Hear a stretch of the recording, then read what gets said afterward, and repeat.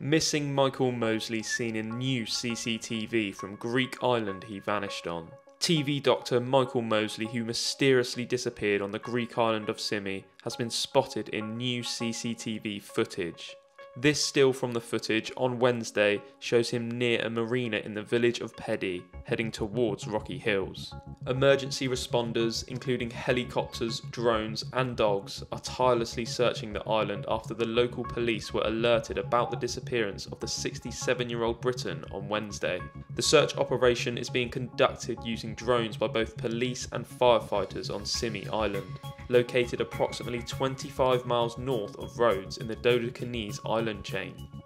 Both local residents and authorities have joined in the search, which some have called to be a race against time.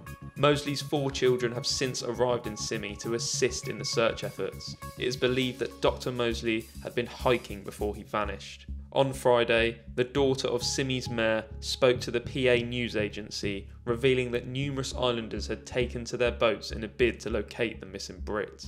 The search intensified after a woman claimed to have spotted Mosley in Pedi on Wednesday. According to a local Facebook group, Mosley set out for a walk from St Nicholas Beach at around 1.30pm local time. The Mayor of Symi has since pledged to continue the extensive search operation involving police, firefighters with drones, and divers.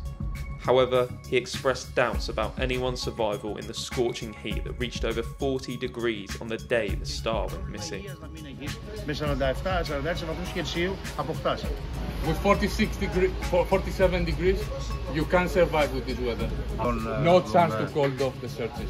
No chance they call it off, so they keep going, They for, keep going. for weeks. Θα το συνεχίσετε για εβδομάδες. Από εδώ ρε Γιλή.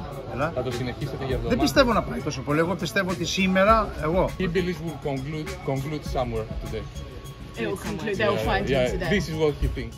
Dr. Mosley's representatives have confirmed his disappearance.